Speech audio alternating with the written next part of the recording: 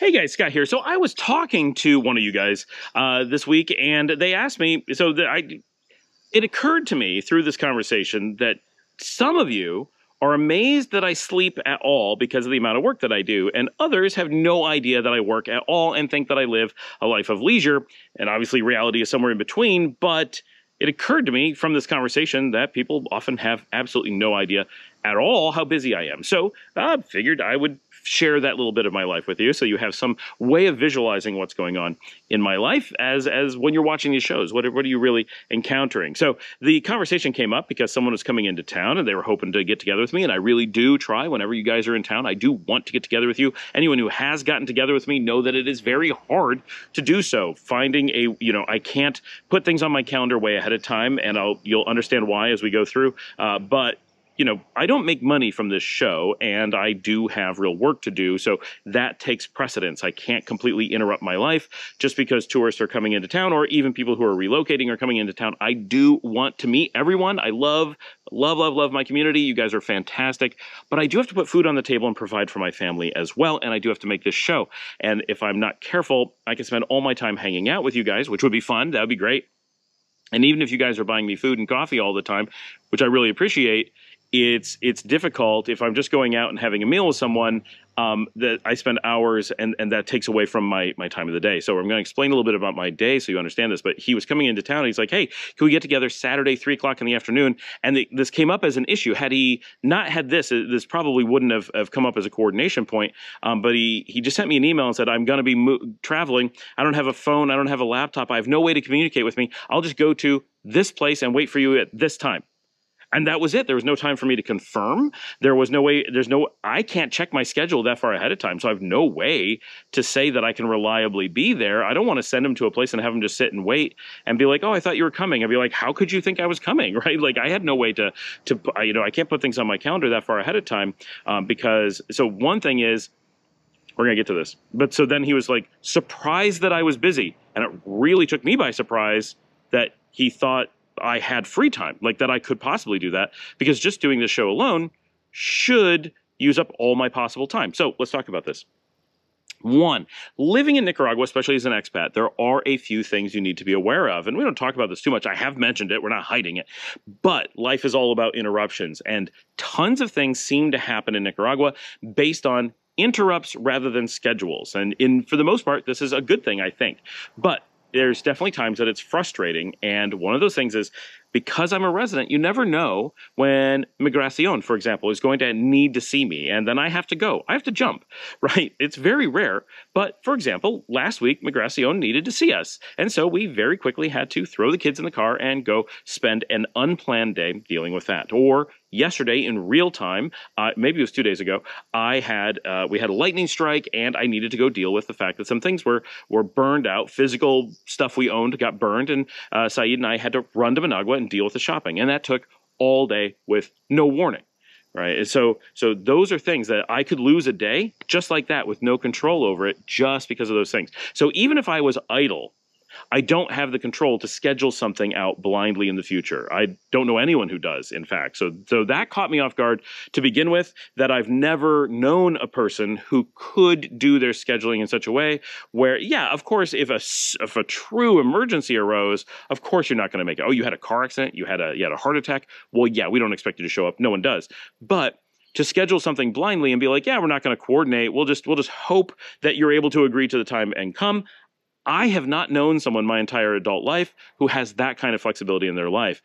I can only imagine I'm being pictured as a retiree who has literally nothing going on and is is just available all the time, uh, which I don't I don't know any retirees who have that kind of flexible schedule, but I can see someone who isn't retired imagining a retiree having absolutely nothing and being able to just drop everything at any moment. But living in Nicaragua, I can assure you that even the retirees from time to time have things they have to do, and life is just not super predictable when you live in Nicaragua. So people tend to be like, I'm showing up at your house right now. Are you there? Let's go out right now. Are you available? That tends to be how things work just because of how Nicaraguan life is. So that's the first piece. Nicaraguan life has a tendency to not be schedulable very much. And that I think throws people off. And it's not necessarily a bad thing. I'm not really complaining about it. I am a little. But for the most part, Uh, it's just different. Um, as an American living in the United States, I could pretty often say, I'm going to block off a piece of my Saturday afternoon, and I'm pretty confident that it's going to remain clear. That would almost always be the case. But in Nicaragua, I absolutely can't do that. Now, part of it is that I'm a business owner here, so sometimes business stuff comes up. That's far more than personal stuff. There can be a suddenly something's happened with the business, and I have to go deal with it right then. Saturday afternoon happens to be a busy time when you have restaurants on the beach. And while I don't deal with them directly, and that throws some of you off as well, people have a tendency to think that I live at the beach, which I don't, and that I directly manage the restaurants and hotels. I don't, that I'm there all the time hanging out. I'm not. It's very rare for me to be there. If you go there looking for me, assume you won't find me. I can't believe how often people do find me, considering how rarely I'm there. I can only imagine that tons and tons of you are there all the time and don't say anything and are just surprised that I'm not there. But there's no reason to expect me there. It is super rare. Uh, and and I have multiple places that I go. So which one you'd be at, I, I don't know. Um, so it's really I, I'm often surprised by these things, but. I know when you're watching the show, people get this vision of what my life must be like, and it's not necessarily accurate.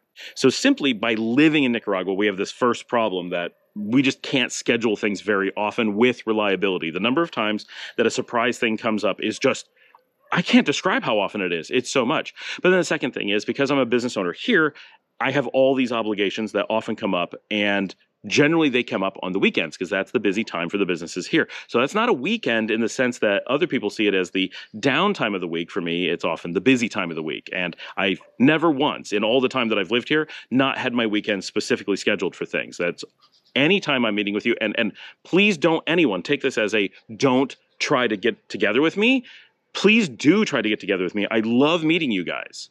I just want to make it clear that I am busy and please don't be upset if it's a struggle to schedule with me and please don't be upset if i have if it becomes clear that i have very little control of my schedule because i have very little control of my schedule and I'll keep going and explain why all this is. But I have very little ability to guarantee a time. So if you're you're making a huge effort to come see me, be aware that the failure rate of getting to meet with me is very high. Uh, and if you do manage to meet with me, anyone who has, which many of you have, you know it's probably like we keep moving the time and we try a bunch of different things and we don't necessarily know where we're going to be able to get together because I my life is very unpredictable. And that's cool and I like the adventure of life, but because meeting with you guys is something I want to be able to do, and often you're scheduling trips to Leon to do it. Having this context will make it easier for you to be able to do that with me. And so please do, do not absolutely take the, any of this away as I don't want to meet with people. That is completely untrue. I love getting together with you guys, whether it's for food or coffee or beers, hanging out, inviting you to go do stuff with us. It's super fantastic. So it's and, and very meaningful because most of you live very far away. So so all that's great. And I love being able to put you guys on the show from time to time, like Jimmy got on. Like that was super cool. There's there's all kinds of great things. I just want you to know what the context is. Okay, so all of that is just my living in Nicaragua bit, and it already makes life kind of busy. But there's plenty of free time if that was the only things. Now, I make this show every day. That, for some of you, is like, how do you do that? Anyone who's tried to be a YouTuber generally reacts in a, how is it possible that you have enough hours in the day to make this show? And so for some people, and I talk to YouTubers, right, because being in this space, I know a number of YouTubers and we talk about our workflows and stuff. And talking to other YouTubers, often they're like, I if this was the only thing I did, I could not turn out a show like you do. The amount of content and the amount of editing is so time consuming that most people can't do it. It's just a volume that that people can't handle. So that in theory should trigger like if you're seeing my shows i put out about an hour of content per day. Well if i put out an hour of content that means guaranteed i had to record it for an hour. But i also had to edit. Anything that i post has to be edited at least two times if not ten times generally not. No it's much closer to two to three times. But the, if it's an hour long material i minimum is two hours to edit it. So that's three hours of my day already. And remember, the normal people are only awake for 16 hours a day. Three hours of my day guaranteed has to be just getting the video recorded and edited. But I don't just record and edit. It's not that simple. I have to record, then I have to upload and back it up and do all that. And while I can do other things while that's happening, it it has to happen and takes time and, and it means that things can't just go one from another once it's backed up then i have to download it to the right computers and get it ready that takes more time it's more steps again i can do other things while that's going on but I have other things to do, and it means I can't just be super efficient. Once I get it downloaded, then I got to do all the editing. Once the editing's done, so that's the three guaranteed hours. Once the editing's done, I have to render it. So then I have to wait. And again, while I can do other things, I'm stuck waiting for that. And then I have to upload it. That takes time. And then I have to do all of the social media stuff that goes along with it. I have to do the titles and thumbnails. Mostly that's just handing it off to Valentina. Thank you. But still work. Uh, I got to do all the tags. I got to write the descriptions. I got to do the the the different things for YouTube that they require. I've got to. There's just all that's got to be done. Got to get it up, and, and, and that's an everyday thing, every single day, for all those hours. And so that is about an entire job all in and of itself. But I also have other channels. So I'm doing this for multiple channels. So I'm easily doing more than a full time job seven days a week just for my YouTube channels. People who know YouTube are like, yeah, of course you are. You're doing way more than that. I can't even fathom it because I'm my own editor. I'm picking all my own music, coming up with all my own, uh, you know, subscribe here and buttons and, and effects. Every single thing is being done by me. I have nobody helping me with any of this. So, except for the thumbnails, everything is coming through me. And then when you think about it, on Thursdays, normally I try to do a live show for five to eight hours. That's an entire seventh of my week. That's all extra on top of the other things. So seven days a week, I'm making multiple videos a day. Plus, I have my podcast, which I do very rarely, but I have podcasts that are going on as well. Um, I have a total of 12 YouTube channels and three podcasts. And uh, uh, then I do the live stream which I try to do for several hours a week. It's it that alone is a full-time job for one day of the week. So we're already well over full time just doing the YouTube stuff, and it's exhausting, but I love doing it. it. It's not stressful for me. It is fun. Getting to engage with you guys is fantastic. There's so many positive things about it. Zero complaints. Zero negative complaints. I'm super happy doing this, right? I'm not I'm not worried about not making money on it yeah, it loses money in theory, but it's also mostly paying for itself and gives me an excuse to have all this cool tech and cameras and stuff. Super happy. So, no complaints. Love getting together with you guys. It's all positive. It's just that my schedule's crazy busy, so you have to appreciate that it's really taking a lot of time.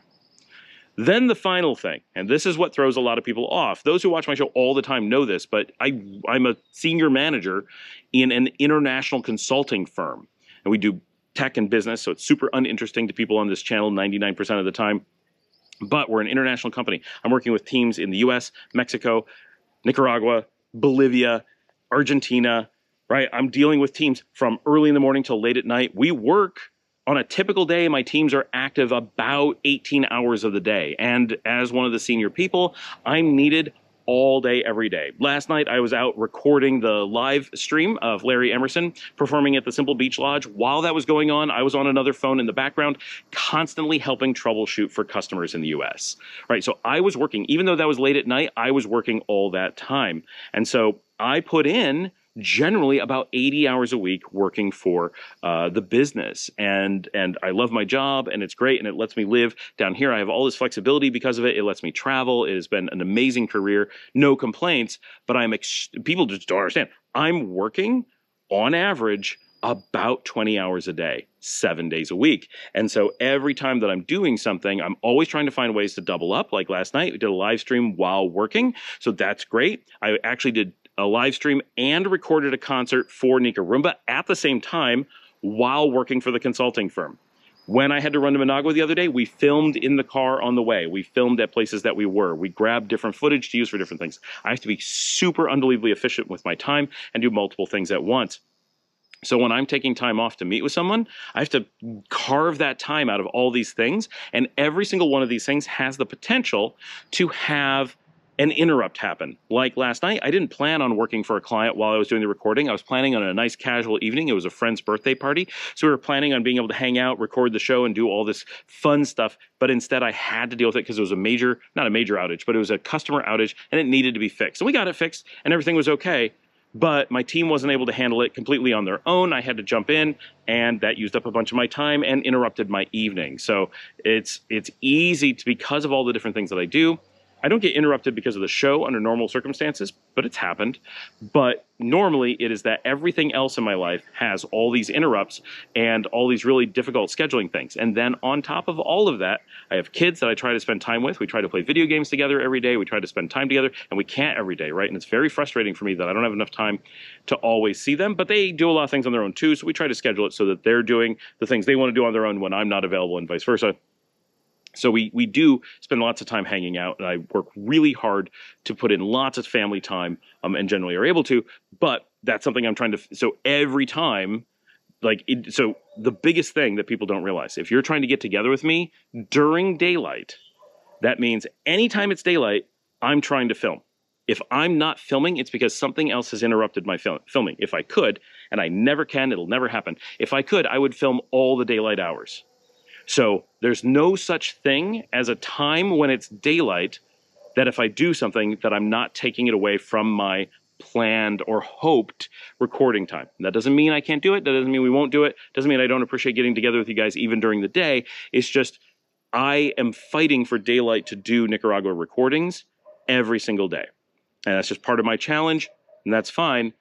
But when someone says, hey, let's get together at three o'clock in the afternoon, I'm assuming they know it's daylight. They know I can, I don't have enough. There's no possible way I have enough time to do all the filming and editing and uploading and stuff that I do in a day. So they must intrinsically know that they're cutting into my schedule, and that's okay. But they must know that.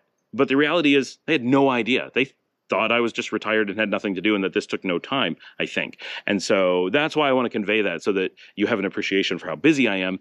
Most people in my life are like, "How is anyone as busy as you? Like, how do you do that?"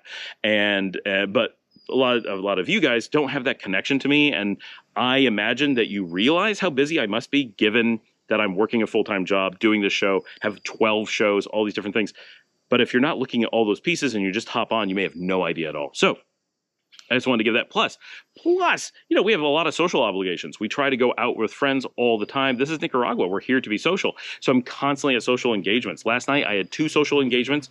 Uh, tonight I have three plus overlapping ones. I almost every day I have to pick and choose between the things that we do, even when it's getting away from work. And often we pick things based on at the last second what work will allow us to do based on just what's going on for the day. So, and there's every day is surprises. There's no such thing as a planned day. Like last night, I thought I was done. We were ready to head out to a social engagement. At the last second, a major customer said, "Ooh, we really need to talk to you right now. We have an account question."